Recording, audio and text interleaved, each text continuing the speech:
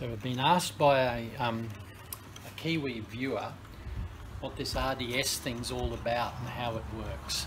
So this video is going to be on an A to Z on how to install RDS. So what is RDS? What does it even stand for? It's rotary drive system.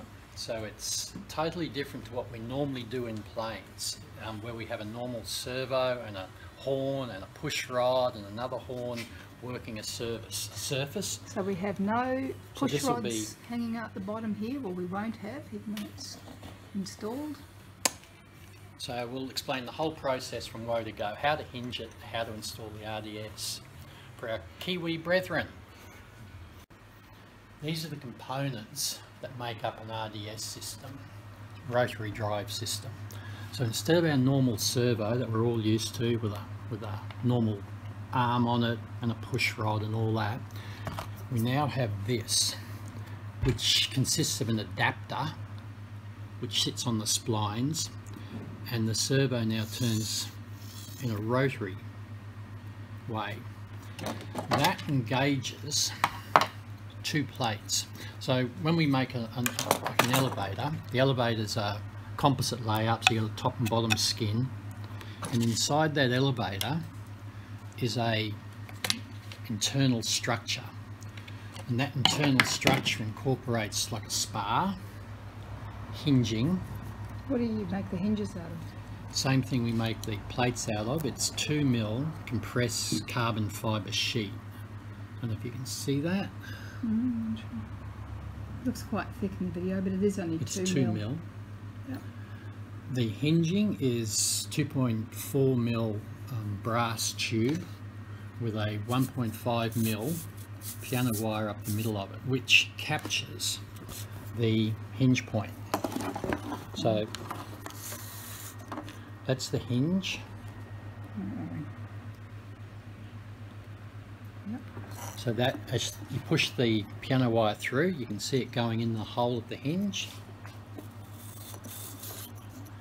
So the trick is to line that up and then that goes in and that becomes your hinge.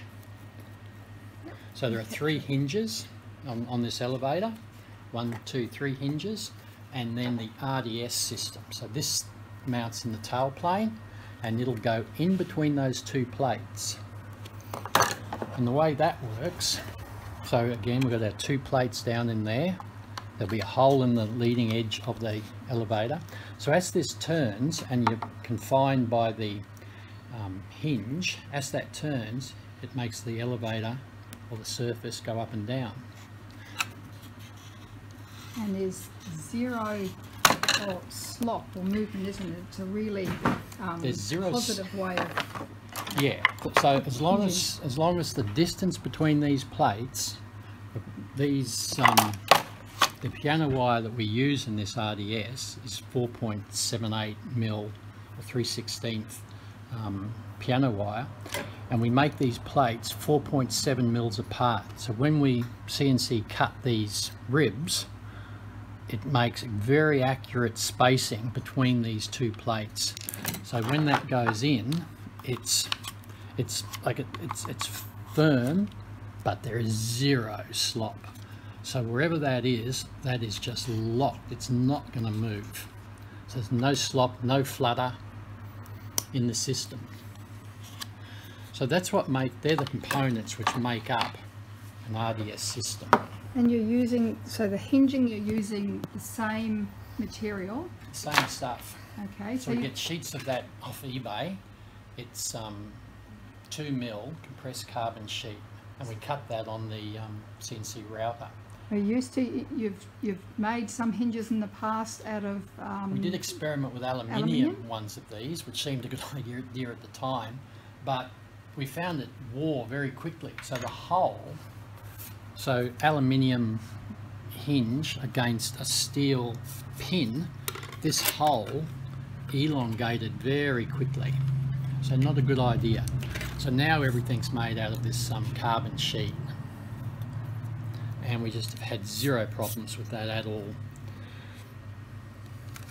So these um, RDS adapters, rotary adapters, we get from Servo City. you can get all different sizes. They've got different splines. They've got a spline in the bottom. I think the modern ones just have a, a, a splines cut into it without this insert, but they're changing it all the time. So you'd have to go see So where is that link? That's servocity.com Okay. and it's rotary drive components and they've got a whole range of these sorts of things with different um, splines in the bottom and different uh, diameters in the top for, for various size um, piano wire. They are changing all the time what's available and they're refining their system so you've got to go look but this is what we've got at the moment, these ones. So the way you install those, very simply, you just take off the normal um, servo arm, which we no longer need. So this is a, a 5645, the old 6 volt Hitec servo, and they were a 24 pin spline. So we had to get 24 pin splines on these things. So they just quite simply push onto the spline. And the kit comes with a, um, a, a little um, hex that fits and that just screws in and bolts it down. The normal servo grommets go in like they normally do with the um, little brass insert underneath. So that becomes, and the kits also come with a, the, um, a locking screw which goes in the side. So these things have got enormous force because it's compressing around the piano wire. It's not just a grub screw. It compresses it. Once they're done up, they just never ever come undone. So that's the servo. So the first step to installing a surface is to open up the hinge spots, hacksaw, cut into those um, where the hinges are. You can get that spacing off the trailing edge of where it's going. And then you can open that out with a knife and you can see the hinge hole which is which corresponds to where you're. which is this. That's the gap we're opening up from there. Perfect. So, onto a rudder, that's what we've done here. So we've got the three hinge spots opened up, our piano wire, and then with your spare hand you can get all this and line them up. Thread them on as you push it in.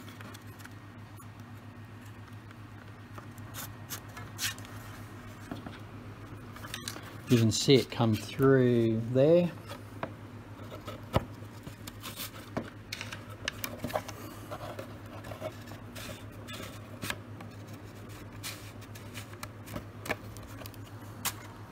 So we have three hinges on our surface. You can like open up the, the slots even more to make sure you've got a you know, full range of motion in there. So next step. So the rudder's going to go into the back of the, fin. You can see where it's the hinge, the corresponding slots are uh, in the rudder post. So there are lightning holes and then there are three hinge points. on the top. And right down the bottom is the slot where the servo will go.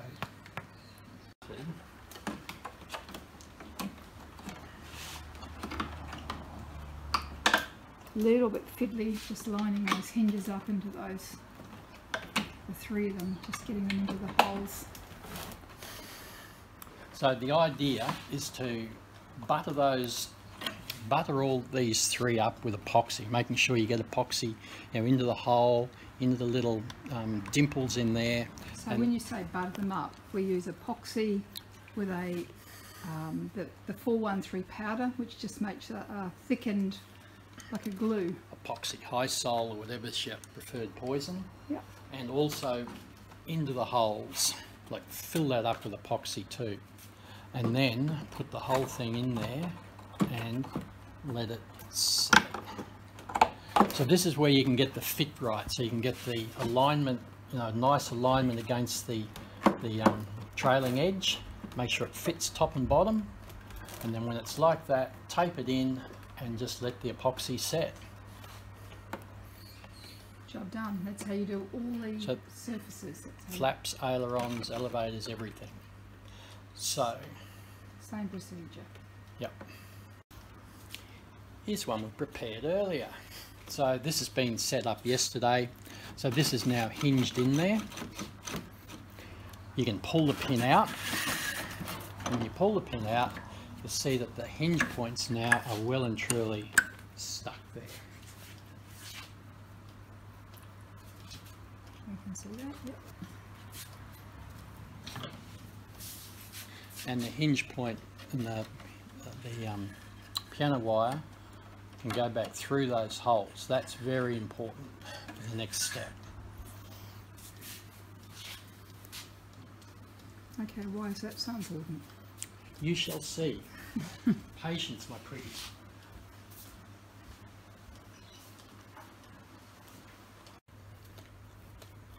Meanwhile, the dog just keeps licking her feet. Hey, Georgie.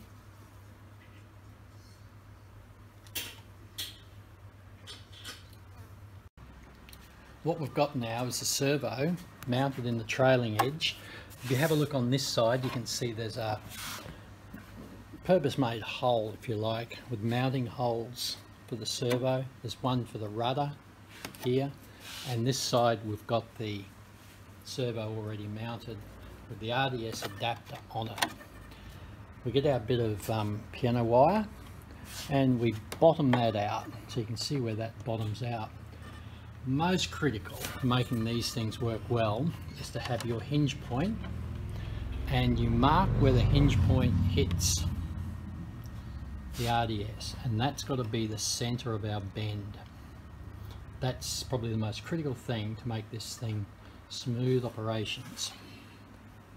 To do our bend we get our wire with the middle of the bend point marked in it and we're using one of these wire benders I don't know I think they're Great Planes or something like that. So set the point in there. Not too worried about it because we're going to trim this afterwards. And we do a bend we have a jig made for the like for the um, Mustang. So this angle here is the correct bend. On the um, Mustang we're looking for we use about 13 mils up and down with this amount of bend we get maybe up to 20 mils so we can plenty of movement there but we wind it back down with rates. Yeah, plenty of room for adjustment. so we've got a jig which shows the bend angle to bend these actuator rods for the elevator and the aileron are the same angle and we have one for the flaps on that side. So we're looking to bend this bit of wire to that shape so then it's just a matter of bending and um, Bending and checking. bending and checking yeah Oh, you've done you've done this before. So that's what we're looking for. And then we'll just trim this off. This is going to be about 30 mils where it comes back into the, um, so that comes back in there. So we come back about 30 mils, 40 mils, something like that. Not critical, as long as it's within those plates. And this end we do, so it just bottoms out in the RDS adapter. So the, the critical point is to get the bend On the hinge on the line. hinge line. That's what we're aiming for. So we've bent the um, little actuator rod. It's a it's a tight setup this because we want to make the elevator servo is removable. So the bend is very close to the RDS adapter. But we still have to get this hinge line meeting the bend. That's the critical thing that the hinge line and that bend are on the same point. So that's what we've done. We've mounted the servo and then that is how it works.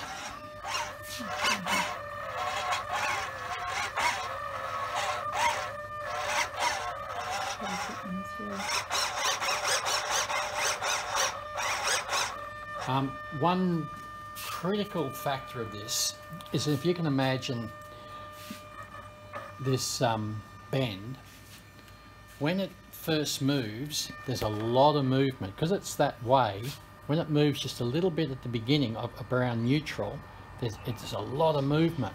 When it gets up to the top and it moves, there's very little movement, which is in effect negative expo, which is not what we want.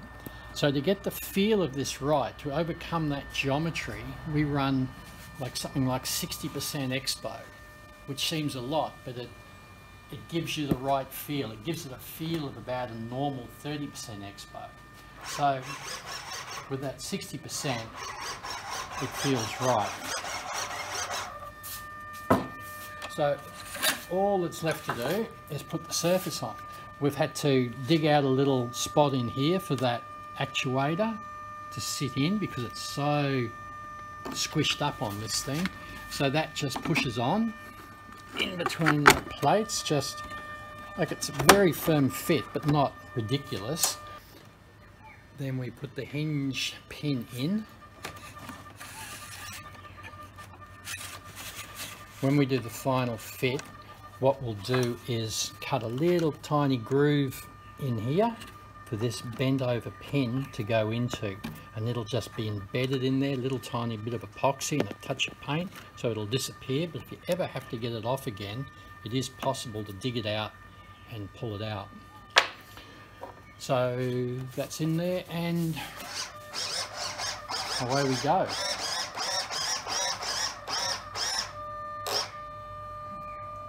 to the field only.